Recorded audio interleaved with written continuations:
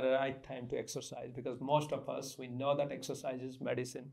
Exercise at any time is good for us but there are some new things new discoveries in this area. So a few years ago two groups one from basel one from stockholm they came up with this idea and showed it both in mice and humans that athletic performance is much better there is much better glucose control and there is low risk for injury if somebody exercises in the afternoon not evening late afternoon. So it's say between 3 and 6.30 7 p.m depending on the sunset time.